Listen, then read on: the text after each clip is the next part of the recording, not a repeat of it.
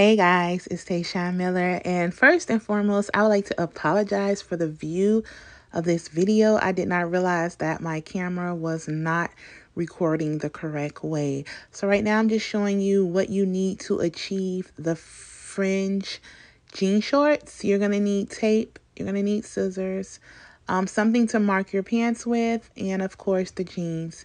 So right now I'm just starting off where I want them to end, meaning lengthwise, how, how long I want the fringe to be. I want it to be like right above my knee. So I'm just grabbing my tailor's chalk and I am um, marking that area.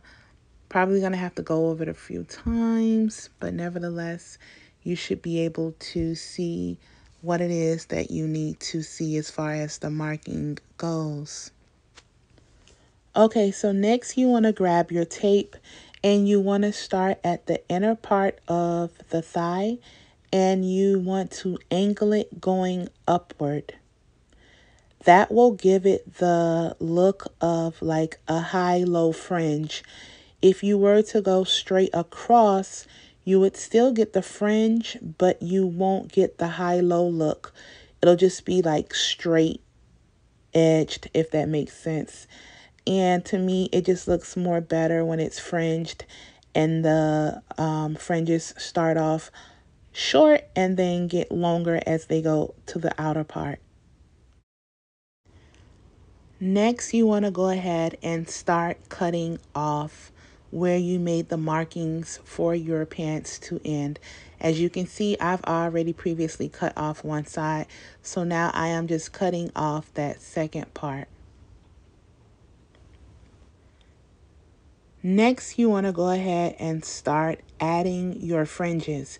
Now, I will say it's easier to cut the seam on the edge first, and then you can go ahead and cut that in half again.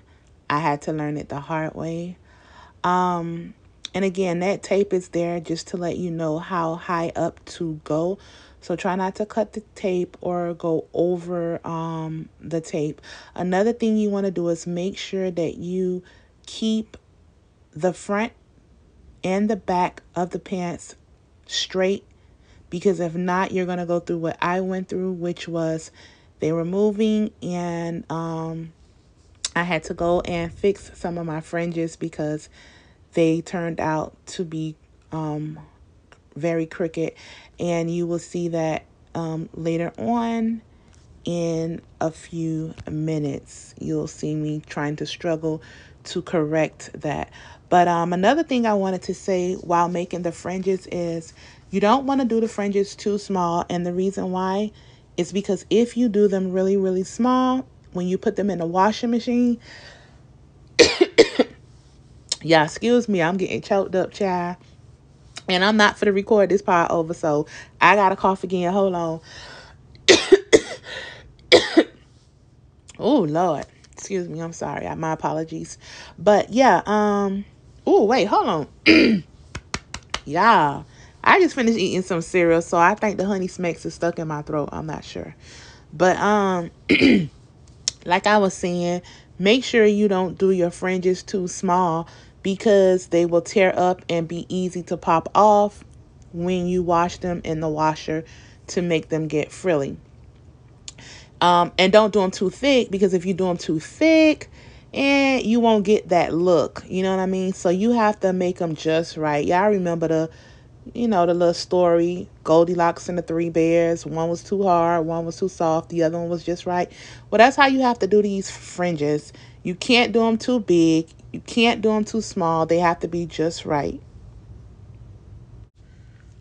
Okay, so now I am here on the other side. As you can see, it's really repetitive. And here's where I started messing up right here um, when I realized that the front wasn't proportioned with the back. So I had to go in and try to fix them. I'm sorry, I am covering up. But yeah, I had to fix that. Um, also, I did not know that I think my dress is on the wrong side, y'all. So just act like you don't see that because I'm just noticing it with me looking at the video while I do the voice voiceover. But you can see right here why I told you I was messing up. Like all of those in the back, those pieces were not proportioned. So you're going to go through what I went through. So just to avoid that, just make sure every so few cuts that the back is lined up with the front so that everything stays nice and straight and you don't have to keep going back and forth like I did to fix the pieces that like were um, not well portioned. Once you complete both sides, you want to just go ahead and take your shorts, throw them in the washer and then in the dryer. That's definitely going to give you that fringe look. And that's it, girl. Let me know in the comment section if you plan on trying out these pants. Let me know if you like my pants.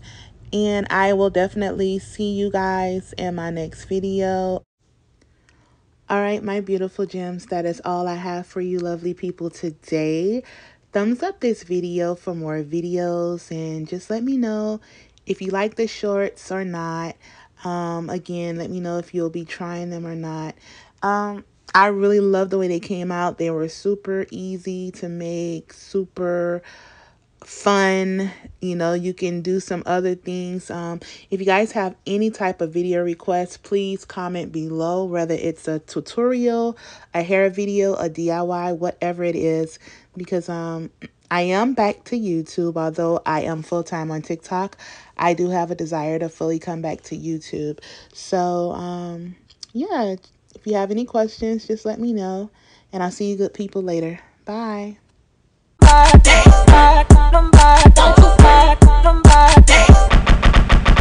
Them back, back, do it. That's my dad, do it. You back, do it.